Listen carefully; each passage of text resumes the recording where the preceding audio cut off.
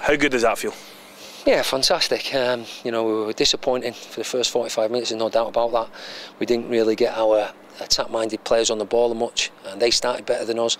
Although, although they had, you know, the better they playing probably deserved to go in, and it wasn't although we were under siege or they were creating lots of chances. It was just, and I said at half time, we got to remember last season we came here in first half we weren't great, and second half we absolutely dominated it. And I felt today. Um, once we got our you know wide men in the game and we made a few changes um, and I thought you saw with the lads there that when it got to 12 they wanted to win the game Changes is a crucial word because I think that did actually impact the game and the final result. You threw caution to the wind. You put strikers on there. Bob McHugh, I thought, come on, was excellent, scored the winning goal. But that also forced, I think, Fenlon to reshape his team, and that actually suited us because it meant for the last 30 minutes the, the, the whole game was virtually played in this half. Yeah, I mean, I'm, I'm never talk about another team, another manager. My concern's Motherwell, you know, football club, and I, I just feel when teams do that and, and go like Aberdeen did the other night as well.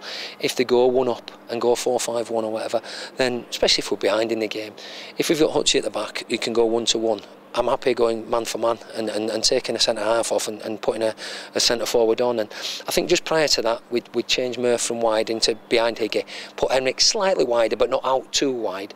And we wanted Chris to, to hit the dead ball line, you know, and put crosses in from there.